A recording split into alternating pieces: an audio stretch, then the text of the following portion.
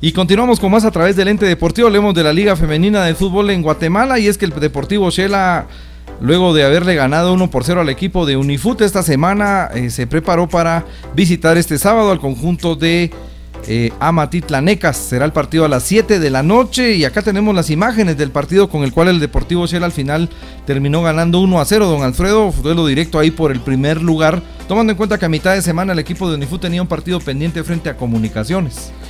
Y no cabe duda que fue un buen partido el que hizo el equipo de mm, Deportivo Shela porque no le permitió libertades que en otras ocasiones se le había eh, dado al equipo de Unifoot. Y entonces fueron ellas quienes tomaron siempre la iniciativa de buscar en el primer tiempo estos remates de larga distancia pero que no generaban eh, mayor peligro en la meta del de, equipo de Unifoot alguna reacción por parte de las de Unifoot, pero que eh, se veían bastante limitadas por eh, la forma en que estaba jugando el equipo del Deportivo Shela. Y era muy importante ganar este partido porque el tema psicológico también les ayudaría sería hasta en el segundo tiempo esa jugada donde se termina equivocando en, salida la jugadora del equipo de Deportivo Shela. Afortunadamente el remate va por afuera. Se generaban algunas llegadas, tiros eh, libres en favor del equipo del Deportivo Shela, pero no se lograba tener eh, la posibilidad ahí real para hacer la anotación. Fue lo que se vivió durante el segundo tiempo por parte del equipo de Deportivo Shela. Y es que un gol fue el que hizo al final la diferencia en este partido, don Alfredo. Fue precisamente en esta jugada en el centro del tiro de esquina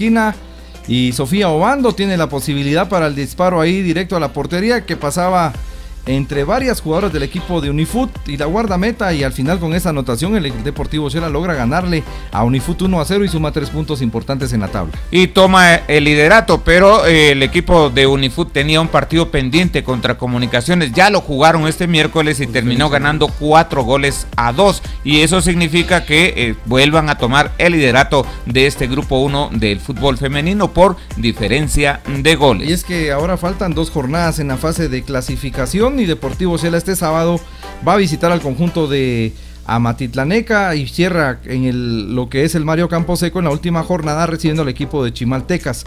Escuchemos a las protagonistas, platicamos con la guardameta de 14 años, el caso de Tere Maldonado ahí, que tiene posibilidades con el equipo de Chela. Ah, bueno, llevar eh, el mayor control de los, de los partidos, creo que son trabajos que nos han, nos han ayudado a mantener más que todo la seguridad y, y, y la técnica en sí para, para, para todos los partidos que, hemos mantenido. Y bueno, ha sido tomado en cuenta también en convocatorias de selección. Sí, así es, gracias a Dios se me da la oportunidad de, regresar a, los procesos de selección nacional de, de Sub-17. Eh, me dan la oportunidad de ser convocada esta semana y bueno, eh, he, he, venido con buenos comentarios de parte del profesor Gramajo y, y bueno, seguir trabajando para mantener ese, ese puesto en selección nacional. Con el equipo del Deportivo Shela, bueno, tomando el tema, dos jornadas por eh, pues jugarse. Este próximo fin de semana visitan el equipo de Amatitlán, luego reciben acá a Chimaltecas y se cierra la fase de, clasificación. Y hay una pelea ahí fuerte con el equipo de Unifus que recién hace una semana pues ustedes lograron ganar. Sí, así es, se vienen dos partidos que, que son complicados, que hay que sacar un, un resultado positivo para, para mantener eh, el puesto en, la tabla de posiciones, ¿verdad? Creo que eh, lo más que lo que tenemos que hacer es eh, sacar la victoria y, bueno, no dejar en nuestro caso que, entre ningún gol, ¿verdad? sí, gracias a Dios se nos dio la oportunidad de anotar y de aprovechar, ¿verdad? Los, las jugadas, ¿verdad? Y gracias a Dios se nos dio la oportunidad y vamos por más. ¿Cómo se sintió de pues, poder tener esa anotación y de darle tres puntos al equipo?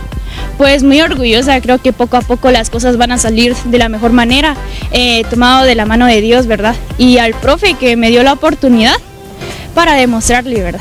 ahora se preparan porque faltan dos eh, jornadas, ya se puso al día el equipo de Unifut y eh, pues tiene la misma cantidad de puntos que ustedes porque recientemente este miércoles le ganan al equipo de comunicación.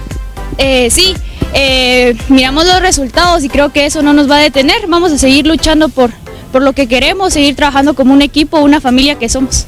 ¿Qué hacer en estas últimas dos fechas? Visitan a Matitlán y luego reciben al equipo de Chimaltecas. Eh, pues luchar por lo que queremos, seguir con la misma táctica, ¿verdad? Que el profe Amado siempre nos ha venido inculcando, venir mejorando más para obtener mejor